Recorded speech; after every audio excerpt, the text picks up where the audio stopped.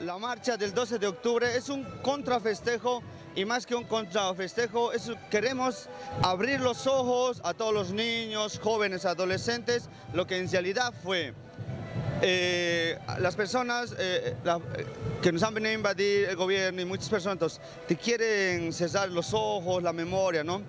Lo que pasó este día, digamos, Día de la Raza, no, cada día, como por ahí Día de la Madre, Día del Padre, siempre. El respeto a la diversidad, somos hermanos, tenemos que respetarnos todo el tiempo a nuestro hermano, a nuestro primo, a, nuestra, a la familia, a los animales, la tierra. Entonces todos son nombres para camuflar. Para nosotros eh, esta, marcha es como un, repudio a, a, lo que pasó ese día y que hicimos, fue el día, llegó Colón sí, llegó por accidente sí, pero no tenían el derecho de venir y saquear, robar, esclavizar, matar, ponernos sus costumbres, su lengua, sus dioses, su, todo, lo que querían y saquearnos. Entonces, eso estaba mal y nuestro sepudio es eso. Y ese día podría decirse que se perdió la libertad, pero no tanto, porque seguimos existiendo. Quechos, aymaras, eh, guaraníes y muchos pueblos originales, pueblo com, hoy en día siguen siendo deprimidos. Les quitan sus tierras, la mega minería, todo eso.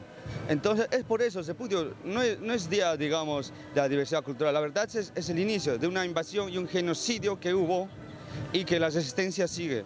Y esta marcha es eso, un contrafestejo a, lo que oficialmente por ahí les enseñan. Si no es eso, decir lo que es la verdad y a partir de ahí seguir creciendo. No, a veces no importa lo que uno lleve, sino lo que uno piense y sienta y lo que realice, ¿no? Y tener en cuenta que todo esto es parte de un sistema de vida, no es una moda. Esto no está de moda. El ponerle el nombre a nuestros hijos es parte de nuestra identidad cultural, ¿no? Y bueno, creo que eso es lo más importante para mí, ¿no?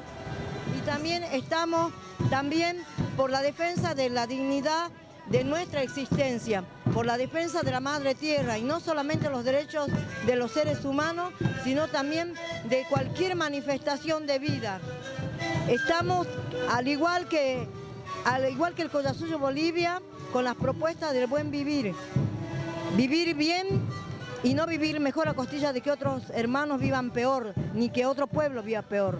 Entonces, queremos dejar también el mensaje de que debemos cuidar la vida, que no se deteriore, que no haya más, digamos, más saqueo territorial como hay hasta el presente, porque si se daña una parte de la vida o si se mata, es el, el daño o la muerte del, del, conjunto de la vida.